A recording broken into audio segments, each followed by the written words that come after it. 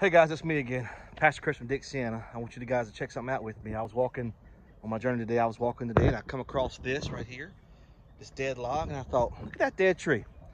And it got thinking about it. I said, you know, there's dead trees all over the woods here. You can see with me. I got thinking, how'd that tree die? Well, it's obvious.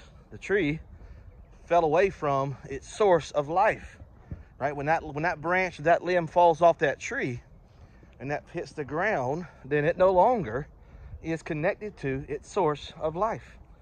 And it got me thinking about things. And it got me thinking about John 15, where Jesus says, I am the branch, I am the vine, you are the branches. Anyone who abides in me will have life, but anyone who does not will die. And you know, that's the same principle as that, as that log I just showed you. That log, it had life as long as it stayed connected to its source of life. And as soon as it did, as soon as it removed itself from that source of life, it began to die. Now, what Jesus is talking about in John 14 and 15 is the same thing. We only find true life when we are in, when we are connected to and a part of that beautiful vine that's called Christ. Now, you might think, well, listen, I don't go to church or I don't know Jesus and I'm not dying. Well, you're lying to yourself because you are you are slowly every day moving closer to eternity.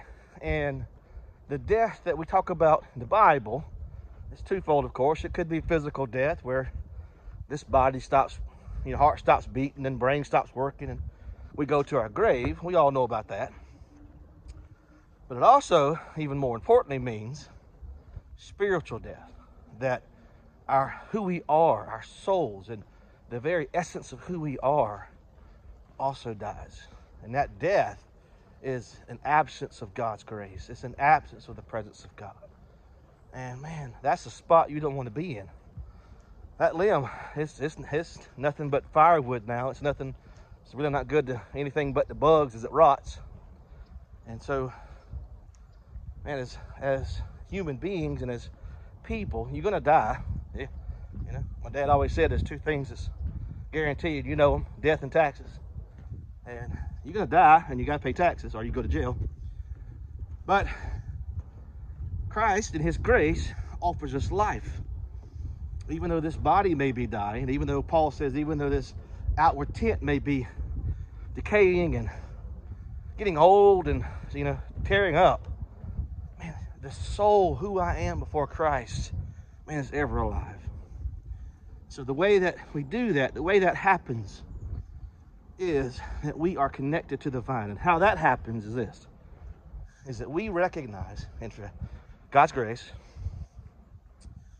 you and I, we ask God to forgive us of our sins and humble ourselves before the Father. And we place our faith that Jesus is who he says he is in the Bible. He's God's son. His death satisfied the wrath of God so that now you and I place our faith in him Bible tells me that I'm saved. Now my body, listen, I'm old. I'll be 48 this year, I think. My kids will correct me if I'm wrong. And, you know, my knees ache, I'm a little overweight. I'm dying. Chris Platt, one who's been saved by the Father, who has been redeemed by God's grace, will never die. And that's my hope and that's my joy. That's my joy in my journey. It's my hope and prayer that you find joy on your journey to Jesus Christ our Savior. Amen. Hey guys, Pastor Chris here. I hope you're doing well.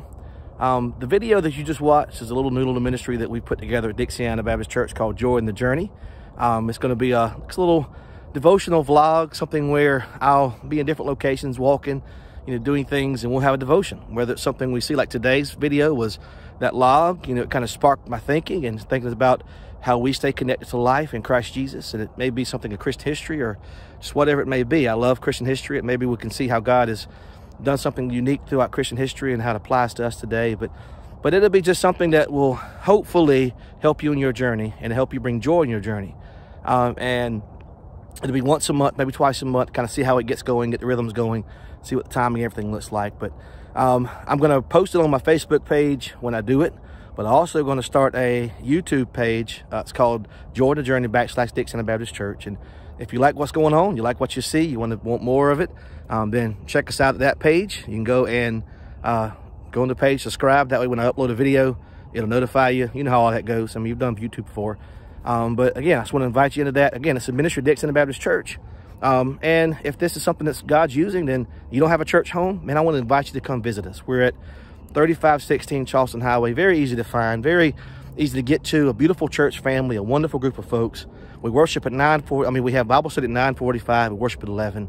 You are more than welcome to come with you and your family. Come by yourself. Come and see what God's doing at Dixiana. Again, thank you guys for checking us out.